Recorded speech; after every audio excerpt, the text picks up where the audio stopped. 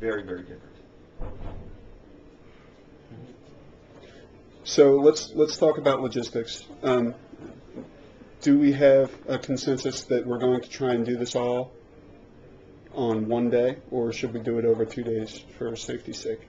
Well, if, if we're going to be doing this outside of class, I don't, if we can record the video outside of class, then I don't think we are anymore. I think that we've, we've I decided think we we're should record definitely, it. we'll just be Yeah. doing it in the class. Yeah, I think if you want to do a practice video outside of class, not just something, Yeah. that's a good idea.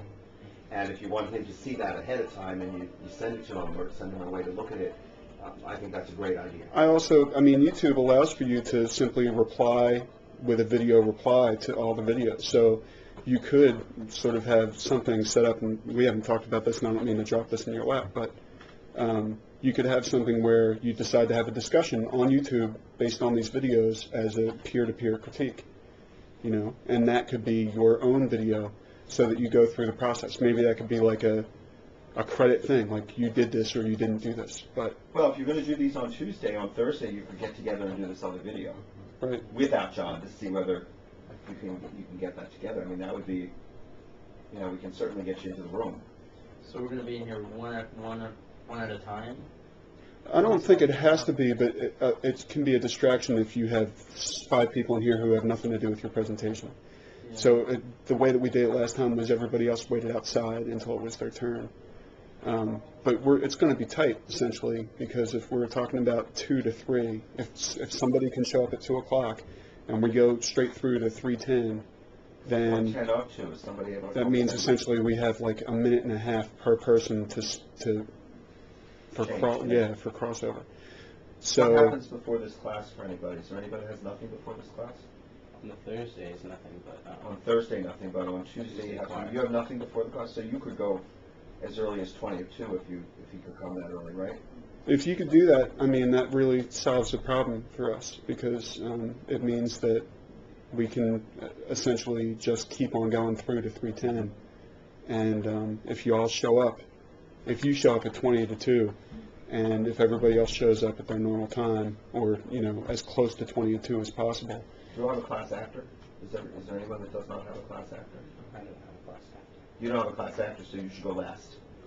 But basically, I mean, you, you, you should have a schedule amongst yourselves where, you know, you're, you're all going in turn.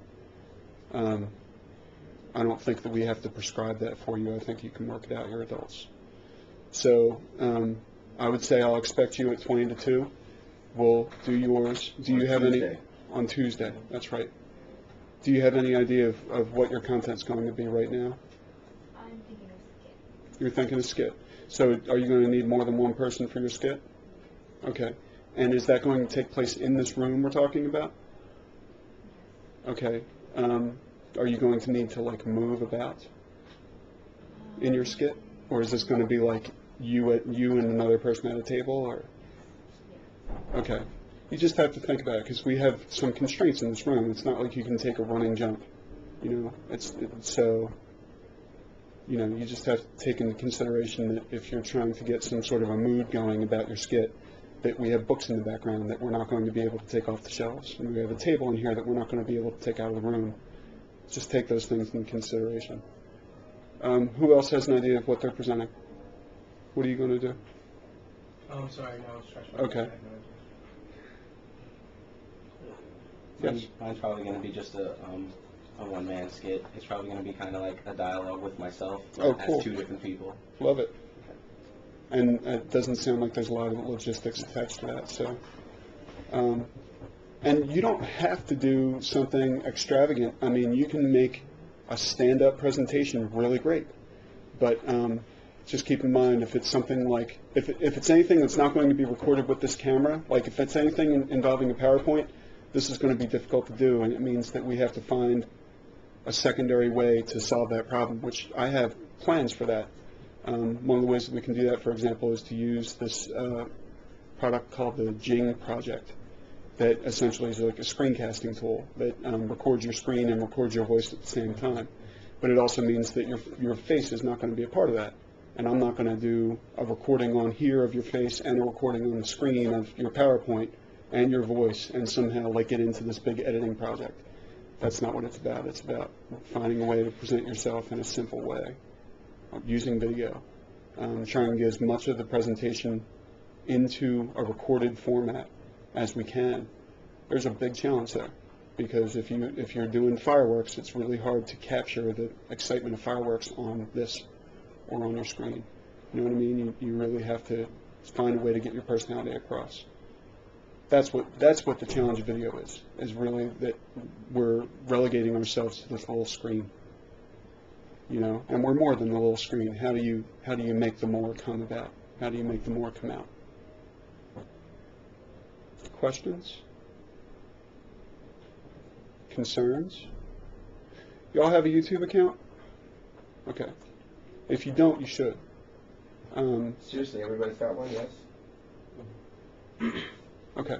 See, that's very different, isn't it? Yeah, if, if you don't, you, you need to. And um, what you should probably do, just for the heck of it, is my last name, which is my username on my email address, is also my username on YouTube. You should try and associate yourselves with me, like befriend me on YouTube. that now. And um,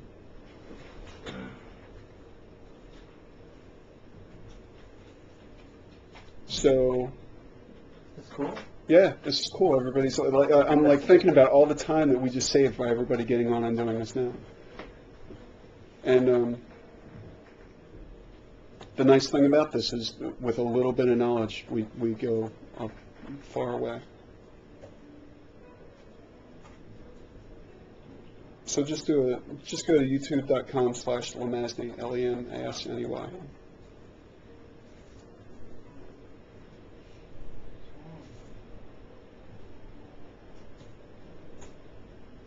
Oh, you got him. Good for you. L E M A S N E Y. Everybody's got him? Justin, you okay? Yeah, so like on that screen, you can subscribe to me, but that's actually not the same necessarily as befriending me. If you go to my profile, or down below where it says connect with, say add as friend.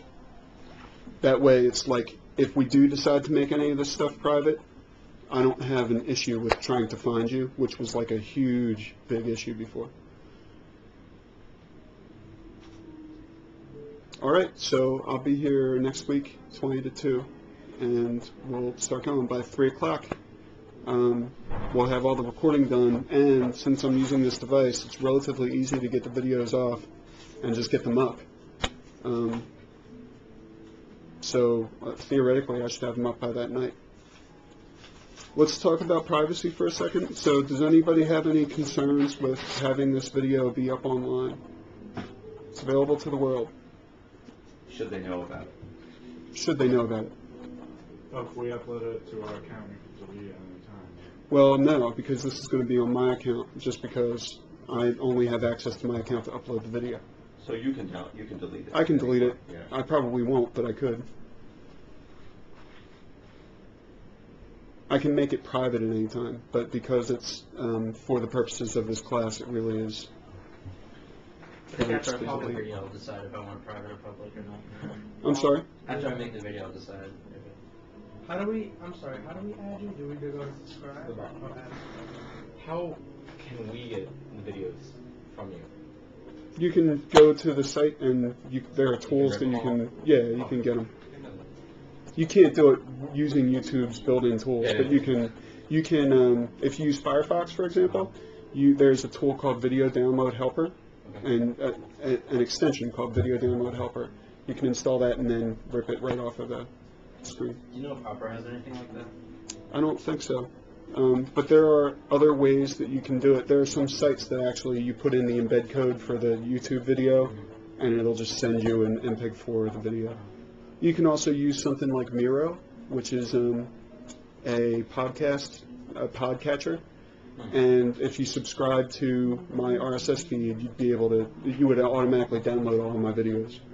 So, I use Google ripping YouTube and yeah, sure. Cool. Okay. Because you're not the first person to ever ask that question.